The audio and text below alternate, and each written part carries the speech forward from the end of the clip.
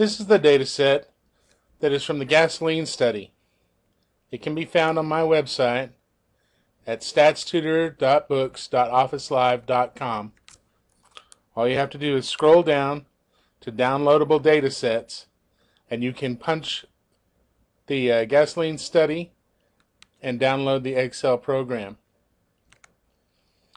With this data set, the first thing we need to do is create the data regression. To do this, we go to Data, then over to Data Analysis, and down to Regression. Select OK. We're going to put in the Y range. When I do this, I'm going to include my headers. So this is my Y range.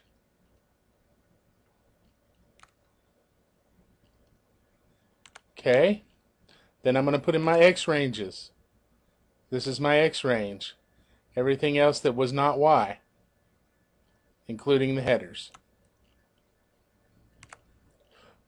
Since I use my headers, I'm going to check the labels box.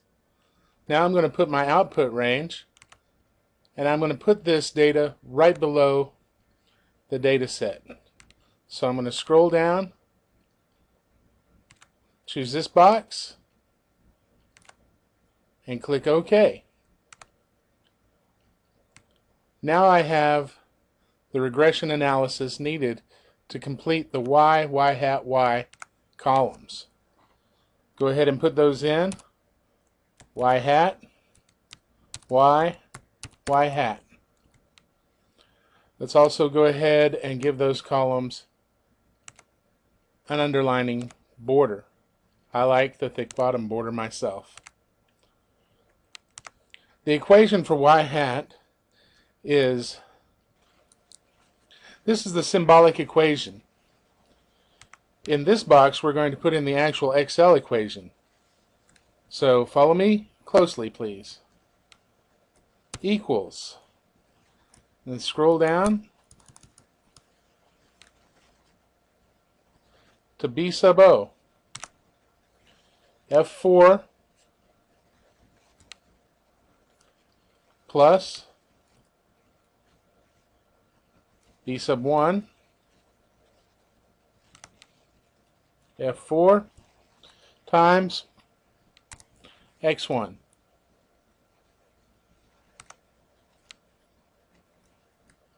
plus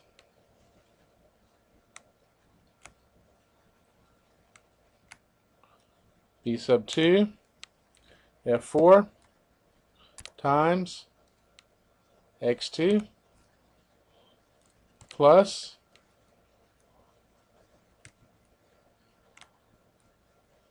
B sub 3 f4 times. X3 plus.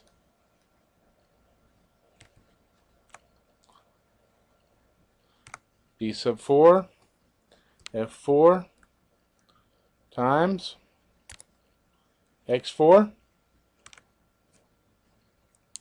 plus. B sub 5 f4 times x5 plus. B sub 6 f4 times x6. Enter. Let's go ahead and format this to no decimal places. And now we're going to take and copy this equation straight down. So take your white cross till it turns to a black cross and drag down your equation. Okay, now we have y hat. Let's go ahead and copy this right click copy right click in this box under the Y hat paste special values only. Okay. Let's go ahead and format these to no decimal places.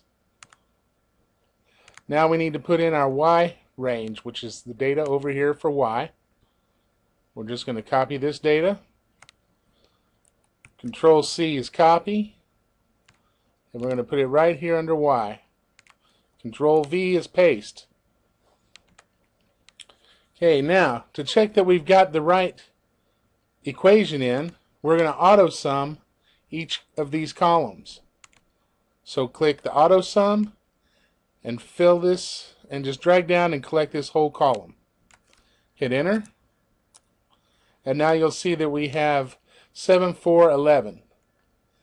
We're going to copy this equation over to the two columns. And as long as these three numbers match, we've put in the right equation. With these three columns, we can now create the scatter diagram.